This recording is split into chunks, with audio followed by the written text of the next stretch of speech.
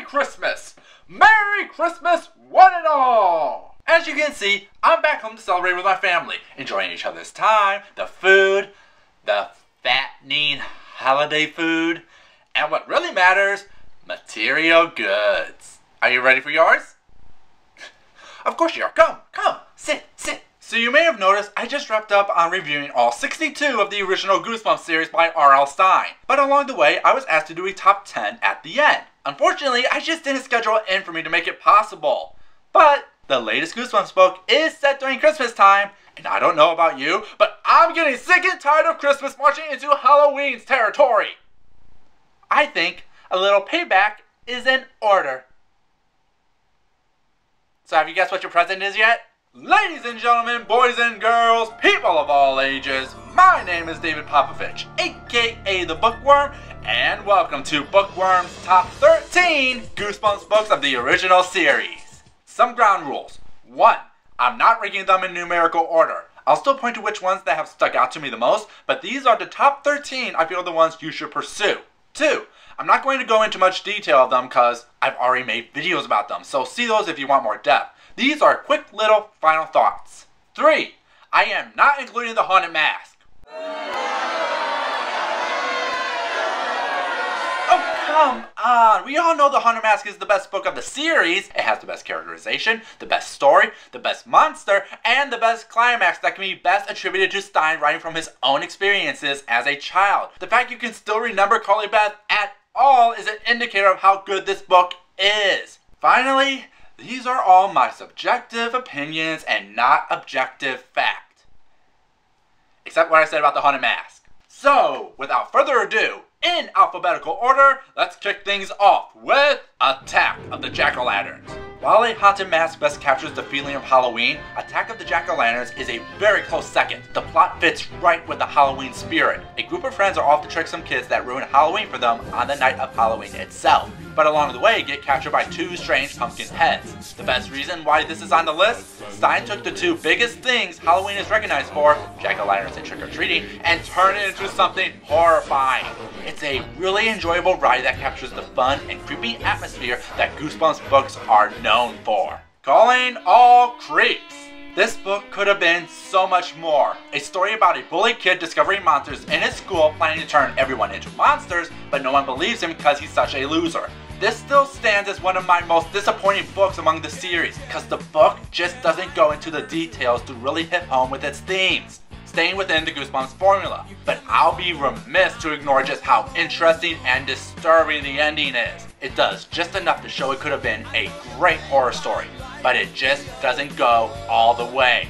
But damn that ending! The Girl Who Cried Monster. A girl discovers her librarian is a monster, but nobody believes her because she keeps pretending that monsters are real. It's a classic setup that pays off in all the right ways. One can't help but point out how the librarian telling Lucy to stop reading horror stories and to read real literature is pretty much Stine's swipe at all the parents trying to keep their kids from reading his books. But we still have an intense story. Every time Lucy goes back to the library, you really wonder if she'll make it out this time. And that twist! I've made a lot of critiques that most Goosebumps book twists aren't always good, but this has one of the best twists in the entire series. I'm so jealous I couldn't have seen it sooner. How I Learned to Fly. So this is probably the most un-Goosebumps-like book in the series. It's about a kid who discovers flight. That's it. There isn't that much in terms of horror, but this book does look at the horrors of fame when the kid who can fly gets discovered. Unlike Calling All Creeps, this one actually dives more into the horror that fame can do to people around you and yourself. It's not what you think of when you think Goosebumps, but it provides itself with a great tale that I think even adults should read, and that says something. How to Kill a Monster. Now this one really impressed me. Two kids living with their grandparents in the middle of nowhere are locked in the house when a monster escapes. The premise alone is interesting, but when the monster escapes, it becomes a roller coaster ride that seems to never end till you die. I don't want to say much, but I'm still shocked this never got a sequel. The idea for it is so there, but for whatever reason, we just don't have one. Just be sure to run. Lot. Because the last thing you want is to get caught. I live in your basement. Now this one came out of nowhere for me. It's common to think with franchises that the closer to the end of the series, the worse they're going to be. Now for this one. After getting hit in the head, a kid wakes up to find that something is living in his basement, but no one believes him. Things get more complicated when he seems to keep waking up from dreams. So what exactly is reality? Two words! Body horror. I was never more horrified than when I read some of the most disgusting body horror I've read in a Goosebumps book. I can't believe this is even in a Goosebumps book, but it works so well. The ending is a bit confusing, but Oh my, this one knows how to turn your guts inside out. Monster Blood. Do I need to say anything else? Do I really need to say anything else? This one's a classic. Kid discovers a toy called Monster Blood, but it turns out it's alive and eats anything. It's a classic retelling of the Blob. Evan is a good relatable character, and it has one of the craziest climaxes the series has to offer. Plus that name, man! Monster Blood! Blood from a monster that itself becomes a monster. Awesome! A great read. Just after that, avoid all the sequels, because they suck. A Night in Terror Tower. Now this one has one of the best shock reveals in the series. Two kids are off on vacation with their family in London, but when they encounter a strange man in black, they quickly discover that their parents are nowhere to be found, almost like they don't exist. This one is all about that build-up. The payoff doesn't quite match what it is building up to, but the middle where the two kids are lost in a strange place and they can't even remember their last names is nail biting. A PR journey over the destination read. Night of the Living Dummy 3. This one might piss some people off. Most Goosebumps sequels really aren't that good, but Night of the Living Dummy 3 over all the other Living Dummies is the entry I enjoy the most. It's all the same plot. Kids discover Slappy, say the magic words, and then strange stuff happens that begin to break the family apart. Honestly, it wasn't till 3 that it really clicked to me just how much of an ass Slappy is. He's always been an ass, but the family dynamic here is what interested me the most. Seeing how this mad, evil thing destroyed everything, taking what was once a peaceful household into a battlefield. Pretty much it's taking what the other two have done, but it feels like Stine worked out the kinks to give us a scary time with the franchise's mascot. Also this, and then his left hand shot straight up and slapped me in the face. Classic. One day at Horrorland. Family finds themselves in an amusement park where the monsters are real and the attractions can kill you.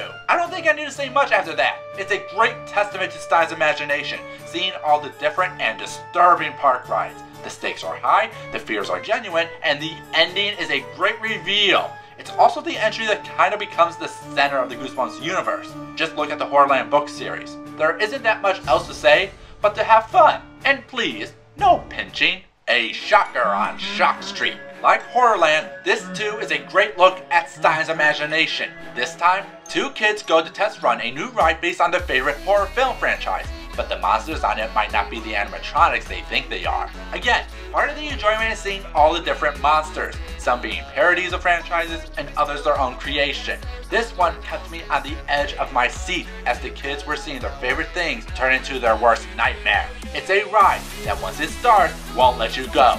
Also, without a doubt, one of the most depressing endings in a Goosebumps book. Stay out of the basement. Alright, half of this is pure nostalgia. The cover for this book has always intrigued me as a kid. The kids discover that their scientist father is starting to act strange, always working in the basement. But when they go in, they discover a truly horrifying reveal. The thing I love about this the most is the fact that the father is the villain. Not some external monster, but someone you always see every day. Not to mention, the horrors he's doing is happening right below your feet. I love stories that take the everyday and make it terrifying. And stay out of the basement, make sure you will never go down again. And lastly, The Werewolf of Fever Swamp. I don't know what it is, but this book is one of my favorites in the series. A kid has just moved to the remote area of Florida and begins to hear strange howls in the woods. He goes out to explore and nothing good comes out of it. For me, I love how simple it is. It's a classic mystery story. Who is the werewolf, and you really don't know. The book gives enough suspects to make each of them suspicious. You can't just guess, because it does a great job hiding who it is. It's intriguing, fascinating, and one of the funnest you could have in a Goosebumps book. Plus, nothing can beat that cover. And there you go! Those are my picks. What about you, Internet? What are your favorite Goosebumps books? And now it's time to wrap things up. Thank you all so much from the bottom of my heart for watching me. I hope to provide you with the same next year. If you have a suggestion of what I should review, let me know. I'm making the list right now. Many of you have given me such interesting suggestions, so put them in fast or you will have to wait till 2016. Until then, Merry Christmas to all and have a nice day. See you in January with